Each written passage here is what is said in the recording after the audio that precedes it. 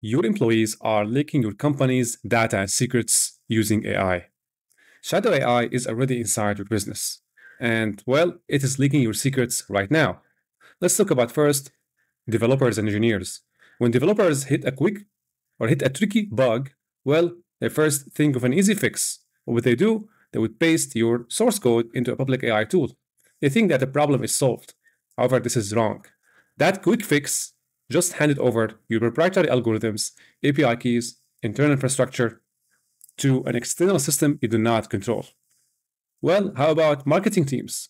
Well, marketing teams usually upload confidential client proposals for what I call it wordsmith magic. Now, your pricing models, customer lists, and product launch plans could be floating into someone else's dataset.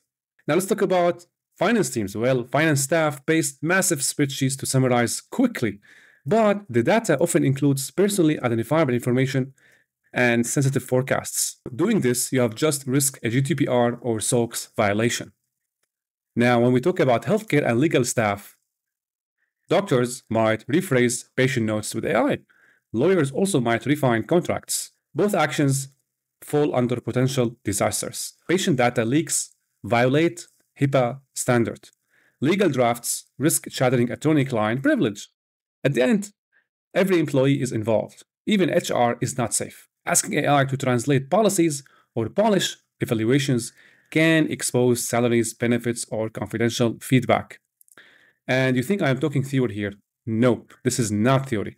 Samsung leaked source code into ChatGPT. Apple banned it internally after project drafts leaked. Major banks caught employees feeding client financials into AI tools.